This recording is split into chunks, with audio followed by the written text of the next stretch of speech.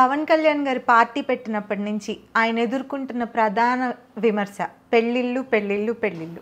దాని గురించి నిన్న ఆయన గట్టి కౌంటర్ ఇవ్వడమే జరిగింది సభలో. దాని గురించి మీరేమంటారు? ఒక మాట అమ్మా ఆయన పెళ్ళిళ్ళు చేసుకున్నారు అంటున్నారు. కానీ అక్రమంగా ఉంచు ఉంచుకున్నానని చెప్పలేదు కదా. పెళ్ళిళ్ళు జరిగాయి. అనువైన కారణాలు అవ్వచ్చు. ఎవరికైనా ఏదైనా ఇబ్బంది కలగవచ్చు. కనుక ఒక సంబంధం ఒకలాగా జరిగింది ఒక సంబంధం ఒకలాగా జరిగింది ఒక ఆమె ఇప్పుడు ఉన్నారు. ఓకే? ఇది అభిప్రాయ భేదాలు అంటారు. అభిప్రాయ భేదాల్లో ఇద్దరు ఉండదు కానీ is already is always friends అంత వాళ్ళంతా ఫ్రెండ్స్గానే ఉంటున్నారు. ఇప్పుడు ఫస్ట్ మ్యారేజ్ వైఫ్ వస్తే చక్రధర గారు అమ్మాయి. అంటే నాకు తెలుసు. కనుక ఆ అమ్మాయి అక్కడ ఇష్టం లేదు. ఇష్టం లేని మ్యారేజ్ కాబట్టి ఇద్దరికి ఇష్టం లేదు కాబట్టి ఇద్దరు కూడా విడిపోయారు. అంటే అండర్స్టాండింగ్తో విడిపోయారు. అంటే ఇక్కడ ఏ ప్రాబ్లం లేదు. మామూలుగా పెళ్ళైన వెంటనే కూడా ఈ ప్రాబ్లం జరిగింది. తర్వాత రేణు దేశాయ్ గారిని మ్యారేజ్ చేసుకున్నారు. రేణు దేశాయ్ గారిని ఆల్రెడీ ఇద్దరు పిల్లలు ఉన్నారు ఆమె కూడా ఇష్టపడి చిన్న అభిప్రాయ భేదాలు ఉండొచ్చు. కానీ అభిప్రాయ భేదాల్లో రేపు ఉదయం పెద్దది కాకూడదని ఉద్దేశంతో వాళ్ళకి ఏదో అభిప్రాయ భేదాల్లో విడిపోయారు. కానీ వాళ్ళు already is already family friends అందరూ కూడా కలిసే ఉన్నారు పిల్లలు కూడా ఉంటున్నారు అందరూ కలిసే ఉంటున్నారు. తర్వాత చేసుకున్నారు హ్యాపీగా ఉన్నారు. మీకెందుకు బాధ అని అడుగుతా. ఇప్పుడు వైసీపీ నాయకులు కొంతమంది ఉన్నారు. వైసీపీ నాయకులు పేరుకి ఒక పెళ్ళి కాపురాలు నాలుగైదు ఉన్నాయి. కొంతమందివి కొంతమందివి. మరి అవన్నీ ఎత్తుతున్నారా ఏంటి?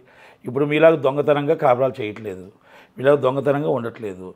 ఆయన ఫేర్గా ఆల్రెడీ తీసి పెళ్ళి చేసుకొని ఇదిగో నా భార్య అని చెప్పారు.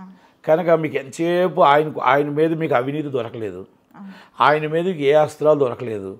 ఏది దొరకలేదు కాబట్టి వాళ్ళ ఫ్యామిలీ కోసం మాట్లాడుతున్నారు. అంటే వాళ్ళ ఫ్యామిలీ కోసం మాట్లాడే అంత రేంజ్కి మీరు వెళ్ళారు కాబట్టి ఆడవాళ్ళంటే మీకు గౌరవం లేదని అర్థమైపోతుంది. మీది రవిడీ రాజ్యం. రవిడీ గవర్నమెంట్. కనుక ఇప్పుడు పవన్ కళ్యాణ్ గారిని మీరు ఎత్తడానికి ఫలానా అవినీతి చేశారా? ఎత్తలేదు. ప్యాకేజ్ స్టార్ అంటారు. ఏమనంటే ప్యాకేజ్ స్టార్ మూడు పెళ్ళిళ్ళు. అందుకే చెప్పారు. నాలుగో పెళ్ళి జగన్మోహన్ నాలుగో రెడ్డి పెళ్ళి పెద్ద టాపిక్ ఎస్ జగన్మోహన్ రెడ్డి గారు. రాత్రి ఆల్రెడీ మొత్తం టోటల్ ఫోటోలు అవన్నీ కూడా పెట్టారు చూసాం. జగన్మోహన్ రెడ్డి గారు నాలుగో పెళ్ళి అంటే ఏమన్నారంటే నాలుగో పెళ్ళి కాదు ఆయన మొగుడు అన్నారు. ఎవరు? మన అమర్నాథ్ గారు. ఎస్ కరెక్టే భార్యనా మొగుడా అనేది డిసైడ్ రేపు ఎలక్షన్లో తేలుతుంది. పవన్ కళ్యాణ్ గారు మీకు మెలుమోడుగా నించున్నారు అదైతే వాస్తవం. దా ఆయన్ని చూసి మీరు భయపడుతున్నారు అనేది వాస్తవం. ఆయన పావలా అంటారు ఇరవై నాలుగు సీట్లు అంటారు. మీకెందుకండి బాధ? చంద్రబాబు గారికి పవన్ కళ్యాణ్ గారికి లేని బాధ మీకెందుకంట?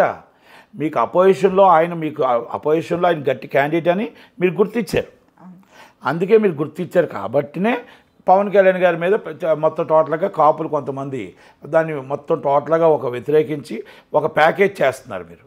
పెయిడ్ ఆర్టిస్టులు అంటారు వాళ్ళని. పెయిడ్ ఆర్టిస్టులు అంటారు కొంతమందిని. వాళ్ళని తయారు చేసి ఆయన మీద ఉసు కలుపుతున్నారు ఇవన్నీ జనాలకు తెలుసు.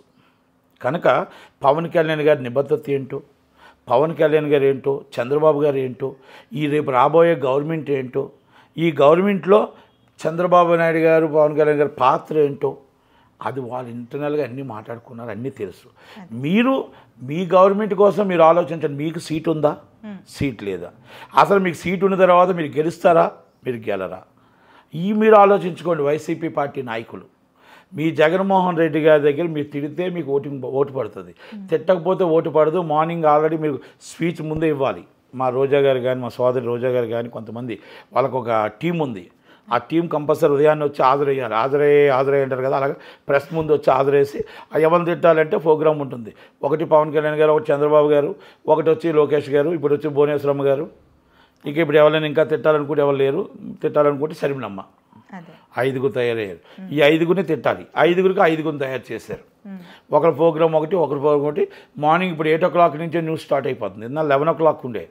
Eight eleven three five seven. అంటే మొత్తం టోటల్గా టైమింగ్ ఆ రోజు టైమింగ్ ఐదుగురిని తిట్టడానికి ఐదు ప్రెస్ మీట్లు పెడతారు. అంటే రోజు ఇది రెగ్యులర్ ప్రోగ్రామ్ కనుక పవన్ కళ్యాణ్ గారు మ్యారేజ్ల కోసం మాట్లాడే హక్కు కానీ మీకు ఏమీ లేవు. కనుక నేను ఇంకోటి అందా ఆయన విజ్ఞతతో ఆయన విలువలతో మహిళల మీద ఉన్న గౌరవంతో మీకు రివర్స్ మాట్లాడట్లేదు కానీ మీ అందరి కోసం రివర్స్ మాట్లాడితే మీ చరిత్ర తీస్తే ఏమవుతుంది? కాకపోతే అది మహిళలకి అవమానకరం కాబట్టి ఆ మహిళ అక్క చెల్లెల్ని గౌరవించి మీరు చేస్తున్న పనులకు కూడా ఆయన మాట ఆయన అన్నా కూడా నన్ను అన్నా పర్లేదు కానీ ఆ ఎదుటి వాళ్ళ అక్క చెల్లెల్ని నేను అన్నను అని మాటతో ఆయన వదిలేశాడు. అది కరెక్ట్గా వాళ్ళకి అర్థమవుతుందని అనుకుంటున్నా. అర్థం అవ్వదు అంటే ఒక్కసారి అర్థం అవ్వలేదని ఎవరైనా ప్రెస్ మీట్ పెడితే ఆ అర్థమయ్యేటట్టు నేను చెప్తాను ఆ వ్యక్తులకి. ఎందుకంటే ఆయన చెప్పలేకపోయాడు. ఆయన చెప్పడానికి గౌరవం అడ్డొచ్చింది. "ఆ, మాకు మాకు సిగ్గు లేదు మాకు సిగ్గు ఉగ్గు లేదు మా ఇంట్లో వాళ్ళకి కూడా సిగ్గు లేదు అని చెప్పి ఎవరైనా వచ్చారనుకోండి నేను చెప్తాను సమాధానం. ఎవరెవరి చరిత్ర ఏంటో ఎవరేంటో పవన్ కళ్యాణ్ గారితో మాట్లాడిన వాళ్ళందరి చరిత్ర నేను తీసి చెప్తాను. కనుక ఆ ధైర్యం ఉన్న వాళ్ళు ఎవరైనా ముందుకు వస్తే ఈ మాట్లాడిన వాళ్ళు పవన్ కళ్యాణ్ గారి కోసం- గారి కోసం మాట్లాడిన వాళ్ళు ఎవరైనా ముందుకు వస్తే వాళ్ళ చరిత్ర తీసి నేను క్షుణ్ణంగా నీట్గా ఛానల్లో ఫేస్ టు ఫేస్ కూర్చొని చెప్దాం. కదా? కనుక పవన్ కళ్యాణ్ గారి కోసం మాట్లాడటానికి అవకాశం లేక ఆయన కోసం చరిత్ర ఏమీ లేదు. ఒకటి ఇది ఒకటి వచ్చి ప్యాకేజ్ స్టార్. ప్యాకేజ్ స్టార్ అంటే ఆయన ఆస్తులు అమ్ముకుంటున్నాడు కాబట్టి ప్యాకే ఆస్తులు కొనుక్కోలేదు కాబట్టి ప్యాకేజ్ స్టార్లో కూడా ఎవరు నమ్మట్లేదు. ఇంకోటి పెళ్ళిళ్ళు. ఆయన భార్యతో ఆయన చక్కగా ఉన్నాడు. ఆయన ఆల్రెడీ ఇంత డ్రైవర్స్ ఇచ్చిన భార్య కూడా హ్యాపీగా ఉంది. వాళ్ళ కంప్లైంట్ లేదు. వాళ్ళకి లేని బాధ వాళ్ళ పిల్లలకు లేని బాధ. మీకెందుకు బాధ? ఆల్రెడీ మీరు మాట్లాడుతున్న వాళ్ళందరికీ పోలీస్ స్టేషన్లో కేసులు ఫోర్ టైం ఫోర్ నైంటీ ఎయిట్లు కొంతమందివి. అన్నీ ఉన్నాయి. మీ భార్య రోడ్డు మీద ఇచ్చి ఈడ్చి ఉన్నాయి. అన్నీ ఉన్నాయి కొంతమందివి. కాకపోతే అది ఇందాక చెప్పాను కదా పవన్ కళ్యాణ్ గారికి ఏంటంటే ఆడవాళ్ళ మీద ఉన్న గౌరవం అక్క చెల్లెల మీద ఉన్న గౌరవం కనుక వాళ్ళ పేర్లు బయట పెట్టట్లేదు. ఆ- లేడీస్ని అవమానించకూడదని ఒక్కదాంతో ఆయన మీరు ఇన్నెన్నా కూడా భరించి ఆగిపోయాడు. కనుక అది మీరు కూడా వాళ్ళ వాళ్ళ పరువులు తీయకూడదు అనుకుంటే మీరు కూడా దీన్ని ఇక్కడితో వదిలేస్తే బాగుంటుంది. లేదు మాకు మా- మాకు సిగ్గు లేదు అనుకుంటే మీరు పెట్టండి బయట మేము కూడా బయట పెడతాం ఒక్కొక్కరి చరిత్ర.